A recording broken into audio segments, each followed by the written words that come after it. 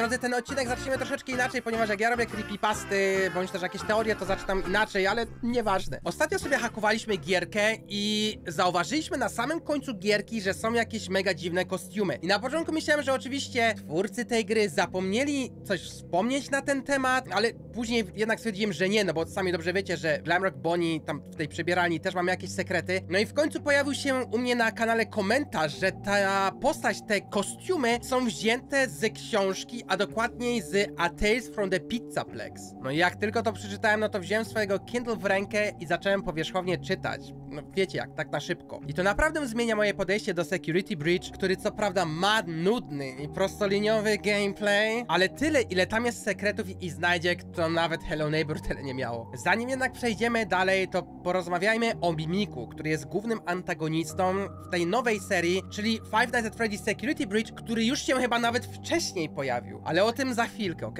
Pierwszą rzeczą, którą zauważyliście było to, że ten bohater wywodzi się z książek, a konkretniej z Tales from the Pizzaplex. A dokładnie jest to książka numer 6, czyli Nexi Nexie? Mimik został stworzony przez mężczyznę o imieniu Edwin Murray, który był inżynierem zatrudnionym przez FNAF Entertainment do budowy animatroników. Ten człowiek jednak trochę za dużo pracował, a miał czteroletniego syna Dawida, któremu nie dawał za wiele czasu na wychowanie i spędzanie czasu razem. Dlatego stworzył tego animatronika o nazwie Mimik. Programowanie imitacji, no czyli po polsku mimika, bądź też naśladowcę, miało być bardzo proste. Nauczył się on naśladować lub imitować działania rzeczy, które widział wokół siebie, a jego pierwotnym celem było zastępowanie ojca lub niańki, gdy Edwin nie był w pobliżu, naśladując ojcowskie zachowania, których obserwował u Edwina wobec Dawida. Tylko ja się zastanawiam, gdzie jest matka. Nie wiem, czy nie zostało wspomniane w książkach, czy po prostu nie doszedłem do tego. Początkowo wszystko wyglądało świetnie. Dawid nie był już sam. Miał swojego najlepszego przyjaciela, który lubił robić wszystko, co on. To trwało aż do pewnego tragicznego ranka, kiedy Dawid obudził swojego ojca i powiedział, że chce z nim pobawić się w berka na dworze. Chodząc na dół, Edwin zauważył, że drzwi fabryki były lekko uchylone. Krzyknął, do Dawida, ale nie dostał żadnej odpowiedzi. W końcu opuścił fabrykę i ku jego przerażeniu zobaczył, że Dawid wyszedł na podwórko, gonił za piłką. Piłka toczyła się w stronę ulicy. Nadjeżdżał samochód z dużą prędkością. Samochód co prawda próbował się zatrzymać, ale niestety ku przerażeniu Edwina samochód potrącił śmiertelnie chłopczyka. Dawid zginął na miejscu. To spowodowało u Edwina mega frustrację i natychmiastową depresję. Zaczął bić w głowę Mimika w gniewie. Kiedy się opamiętał, zdał sobie sprawę, że nie był wściekły na Mimika, ale na siebie samego. Edwin opuszcza fabrykę, porzucając całą swoją ciężką pracę i zostawiając Mimika wewnątrz opuszczonej budowli. Mijają miesiące, aż wreszcie Fazbear Entertainment wysyła mały zespół do opuszczonej fabryki aby naprawić i odzyskać wszystko, co Edwin zostawił w trakcie prac. Zespół ukończył Mimika, ponieważ został on całkowicie zniszczony przez Edwina. Przyczepiali do niego nogi i różne endoszkielety, aby stworzyć pełnoprawnego animatronika. Jednak po ożywieniu Mimik z nowym ciałem postanawia po prostu zabić wszystkich członków zespołu. Mimik przypomina nam, Dlaczego nauczenie animatronika imitowania niedoskonałego ludzkiego zachowania jest tak złą ideą? Teraz uwierzcie mi, bądź też nie, ale minęło kilka miesięcy i firma Fazbear z jakiegoś powodu uznała, że wysłanie drugiego zespołu było dobrym pomysłem. W końcu spotkali podobny los co zespół pierwszy, ponieważ naśladowca, czyli Mimik, nauczył się ukrywania w różnych kostiumach oraz stawiać pułapki.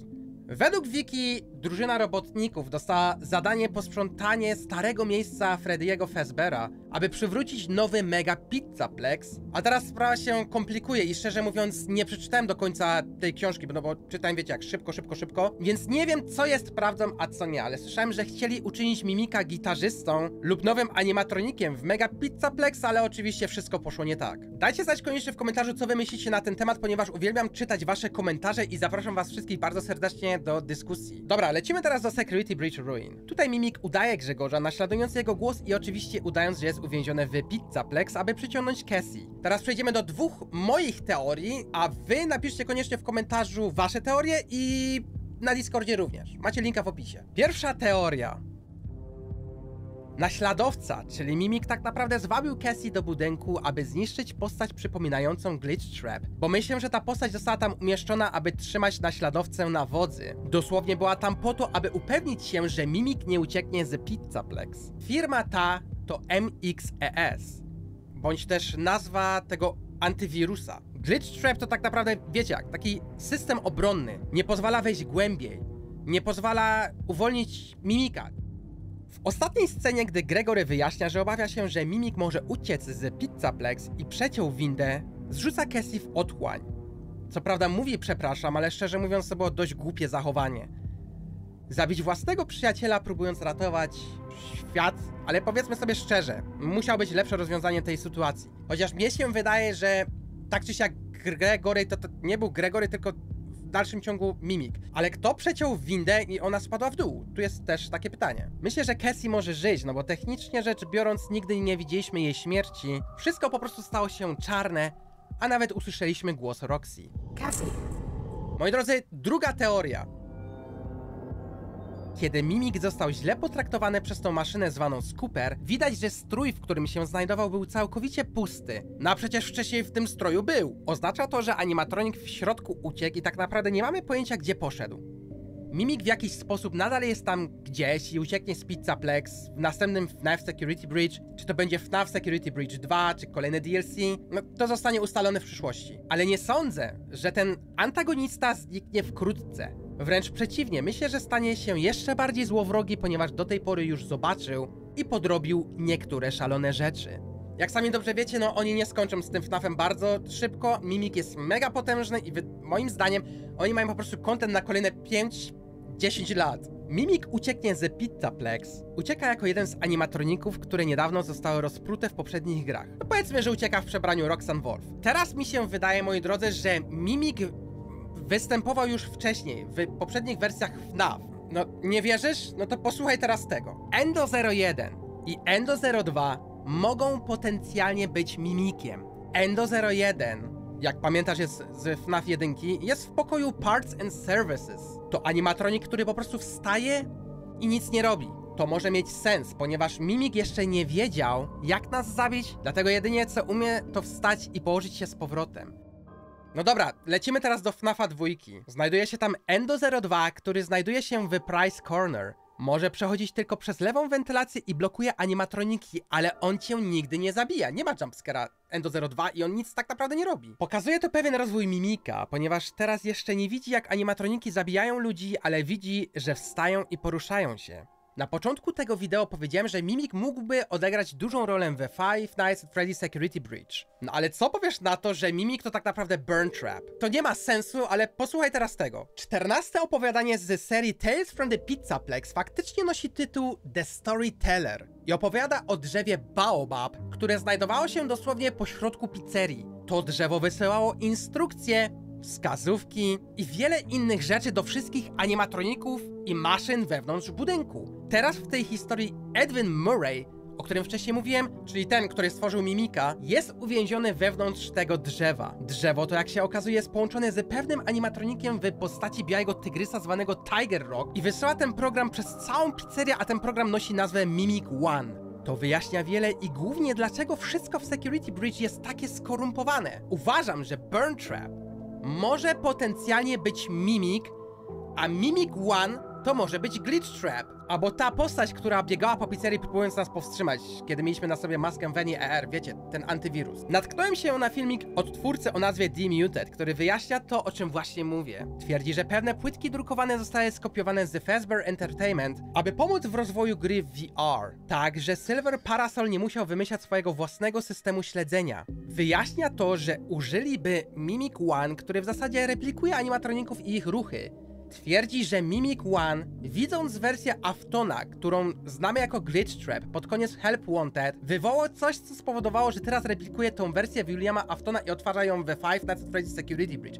Wiem, to jest mega pokręcone. Pamiętajcie, że Afton, jak i inne animatroniki, łącznie z córką Aftona, córką Henry'ego, czyli Charlie, czy też The Puppet, wszyscy zginęli we Five Nights at Freddy's 6, czyli Pizzeria Simulator. Henry to wspólnik Aftona, więcej kolejnym odcinku tego, tego, tego całego Five Nights at Freddy's lore. Powiem tylko tyle, że plan Harry'ego polegał na zebraniu wszystkich animatroników w jednym miejscu, aby je spalić, uwolnić ich dusze. Dokonuje podpalenia budynku, zabijając wszystkie animatroniki, w tym siebie samego, oraz oczywiście Williama Aftona, którego dusza prawdopodobnie wiecznie będzie torturowana przez wszystkie animatroniki. W grze dostajemy spokojne zakończenie, wszyscy wierzą, że animatroniki Afton nie żyją. Moi drodzy, również w książce Tales from the Pizzaplex Mimik jest opisywany jako endoszkielet z jednym uchem. No a we Five Nights at Freddy's Security Breach na samym końcu zabijaliśmy niby Williama Aftona, tak? Czy tam paliliśmy go. I co jak teraz na przykład endoszkielet się nie spalił, ponieważ Mimik ma jakiś taki, wiecie jak, ognioodporny, kuloodporny i tak dalej, endoszkielet, ale się spalił ten kostium.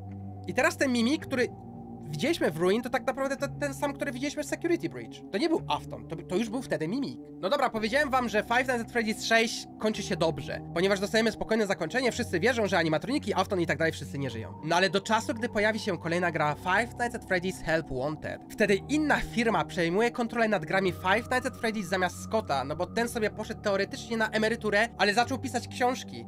I Scott pisząc książki narzuca tej firmie Steelwool Studios, co oni mają robić w tym FNAFie, bo oni, oni biorą i czerpią inspirację właśnie z tych książek. Tales from the Pizzaplex. I to się nie skończy tak szybko, ponieważ miało być tylko i wyłącznie 8 serii, a została już zapowiedziana dziewiąta. Także oni naprawdę mają content na kolejne 10 lat. Mieści się pogłoska, że zanim William umarł, umieścił swoją świadomość w kodzie binarnym, no, czyli ten cały glitch trap, a gdy stworzyli wirtualne Five Nights at Freddy's, czyli właśnie Help Wanted, jego świadomość weszła do gry przez kod i teraz może stopniowo przejmować ciała ludzi. William znajduje osobę o imieniu Vanessa, aby przejąć kontrolę i tworzy alter ego o nazwie Vanny, którego używa do kontroli innych.